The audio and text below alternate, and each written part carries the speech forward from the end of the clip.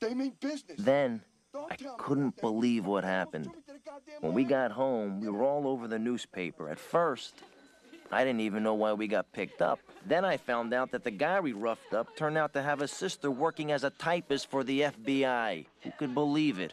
Of all the fucking people, she gave up everybody Jimmy, me, even her brother. He's friends of. Took the jury six hours to bring us in guilty. Judge gave Jimmy and me 10 years like he was giving away candy. 10 years in a federal penitentiary. You will now be turned over to the United States Attorney General's office. Well, sweet Henry. Toast, guys. Good trip, good life. Get out soon. Good trip, sweetheart. Now, Solitary. All the best. Watch the home front, will you? Got the bone, huh? Say hello to those blowjob hacks, huh? Forget motherfuck them every chance you get, huh?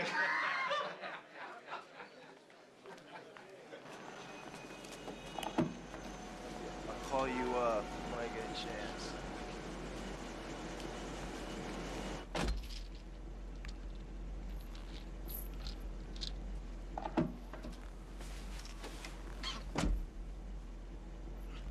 Now take me to jail.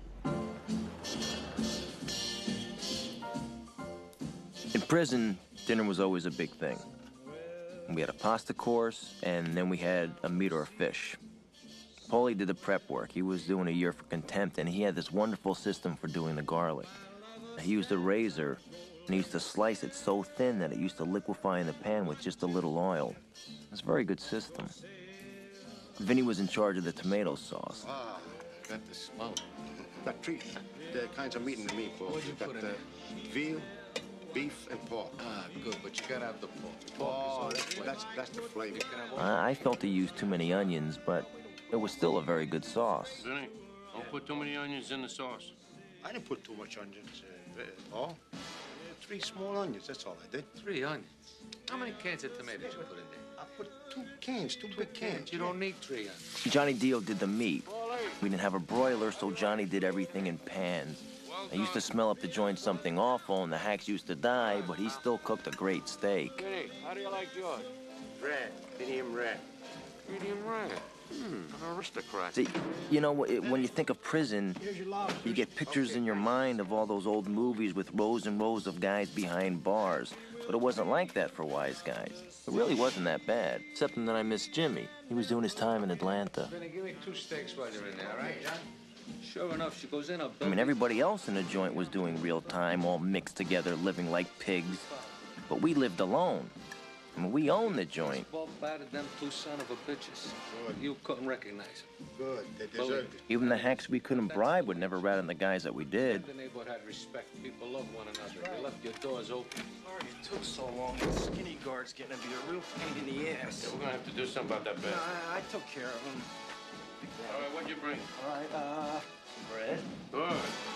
Fresh. Vinny, I got your peppers and onions, salami, prosciutto, a lot of cheese. Come on, come on. What else? Scotch. Nice. Some red wine. Okay. Now we could eat. I got some white, too. Give me the white, too. Beautiful. Okay, boys, let's eat. Come on, it's ready. Vinny, Some more bread. tomorrow we eat sandwiches. You gotta go on a diet, Vinny. Sandwiches are a kid. Believe me. Johnny? Look at. Yeah, read it with me.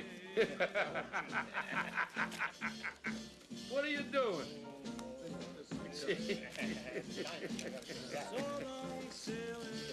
yeah, I'll take that. Hey, tie it loose. All right, I'll catch you guys later. Yeah. We're going for a walk in the park? Okay, I'll catch you next week.